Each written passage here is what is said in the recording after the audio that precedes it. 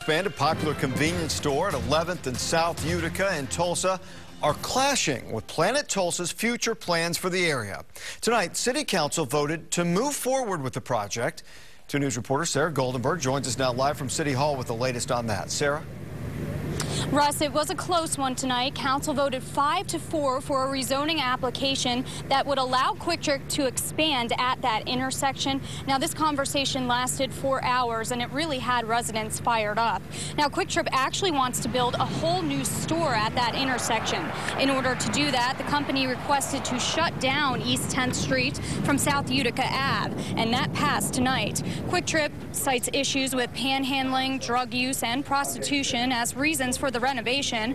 Those against the plans question why a private corporation could have the right to shut down a public road. They took issue with interrupting residential traffic and emergency vehicle access. And many say it goes against the Plan PLANiTULSA small area plan for the future, which is more pedestrian friendly.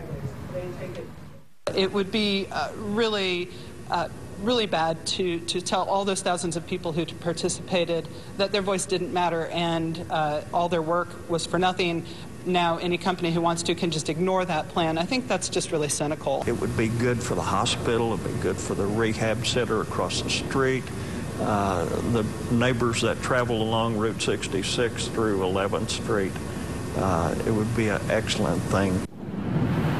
Now, those opposed to the store expansion say they're not opposed to QuikTrip, just the plan itself. The civil engineer of the QuikTrip project says they made modifications to the plan after consulting with the city. Many city councilors were split on the issue, saying they're not against the company expanding, but they understand the, the residents' concerns. Now, this QuikTrip is supposed to be open, the new location, in about 24 weeks, and the current location is going to remain open during that time. Live in downtown Tulsa, Sarah Goldenberg, 2 News works for you.